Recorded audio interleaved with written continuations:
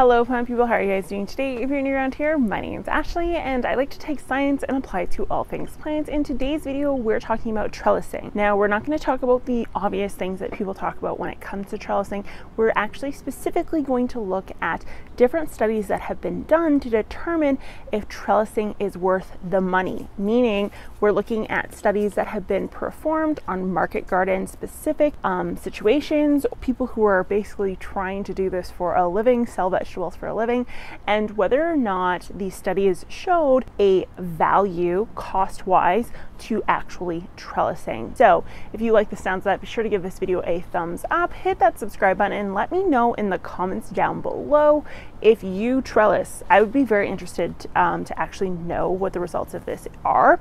At the end of the video, I'm going to talk about what I have trellised, what I haven't trellised, and what I'm just starting to trellis now, and some of the actual benefits I've seen personally in my garden. But regardless, let's get into it. So I think one of the most obvious reasons to actually trellis would be support. Support allows that plant to take some level of wind or storm activity, whether it be heavy rains or, you know, dogs, kids, that sort of thing. So trellising in that sense is a very obvious reason to actually provide the support. The second reason, and one of the reasons that I've actually decided to start trellising in some different areas of my yard is sunlight. Now you're probably thinking, well, is it because it actually spreads the plant out more? What's specific about sunlight? And this is going to be very specific to your your area. So if you have a small area and you want to grow something large like a larger vine, actually using the side of a a building will help with that, help provide the sunlight that that plant needs. In my case, I'm using it in an area of my garden that would typically be really, really shaded. So this area right here, where I can't grow anything really inside of the bed, I deal with a little bit of legginess in the beginning of the year, but once the heat and the sun picks up, it shoots upwards and now I'm able to receive several more hours of sunlight than I would if it was on the ground. And this is because there's a building behind me, there's my deck and my house, there's a large tree and shed on this side, and really the only place the sunlight can come in is this direction. So being able to lift the plant up off the ground and provide that sunlight is huge. This area I was not able to grow anything. I still really can't grow anything other than these vining plants. The third reason is ease of pruning. Now, we typically will think of this when it comes more so to tomatoes, not so much to cucumbers or squash, but you can actually prune cucumbers and squash as well. Now, the reason for this is because we get a really good visual of where the main stem is and any offshoot activity that is off of that main stem. So it allows us to prune correctly and not make any mistakes like taking off our apical meristem, which is just a really fancy word for saying the leading edge of the actual plant itself. So fruit, this one again pretty obvious, but it does and has been shown to reduce rot and the rot is you know specific to different forms of bacteria or maybe fungal activity in the actual soil. It also allows for proper airflow around the fruit which again will help prevent against rot but one thing that was actually shown in a number of the studies I looked at when we're looking at marketability of the actual fruit was that folks who trellised on a large scale had less malformations in their fruit. And the one study in particular was actually cucumbers that I was looking at. So the cucumbers that were grown on trellises were worth more in the market because they had that really special look to them, that the look that everyone wants.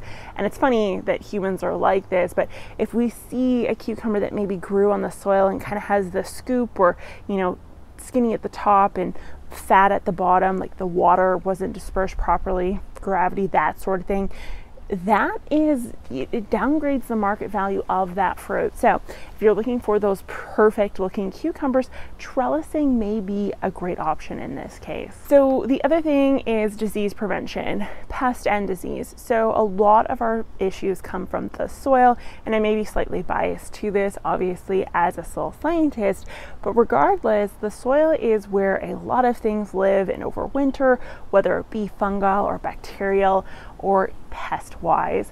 And if we can actually get those leaves up off the ground, we can help mitigate that a little bit easier through airflow and not having direct contact with that soil.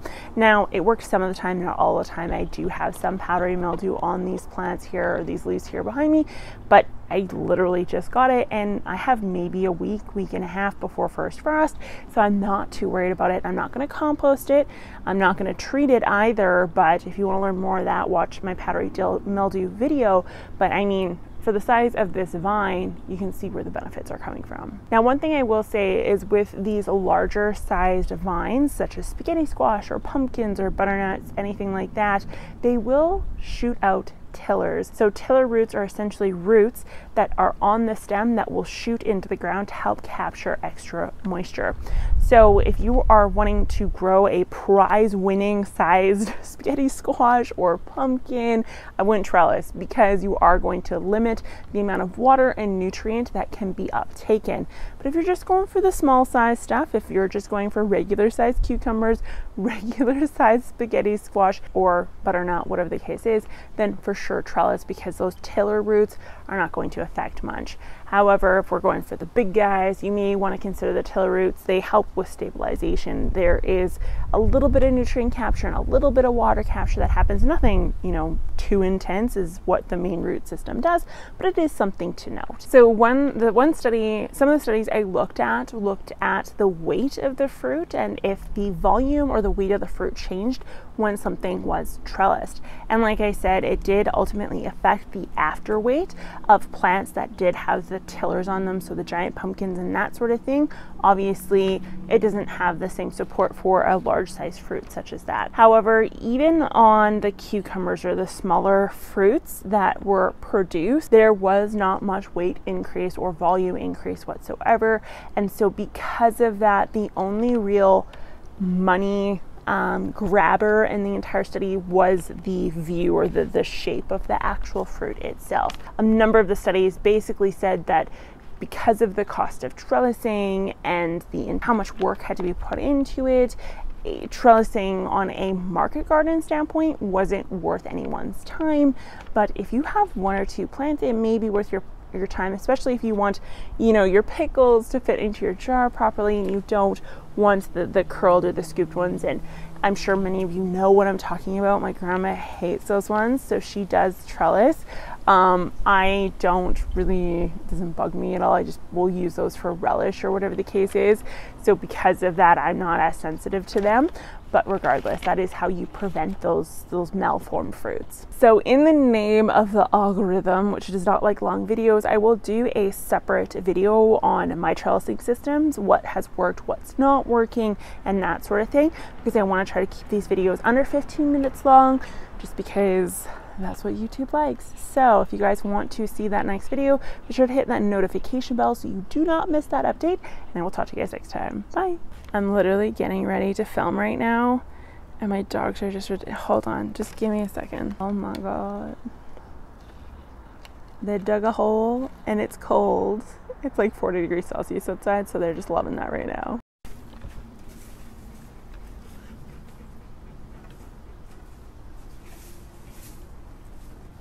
There's literally dust coming out.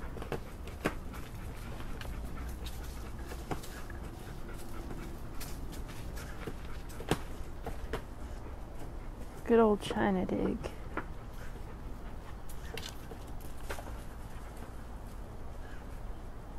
Oh, we got a two two step dig now.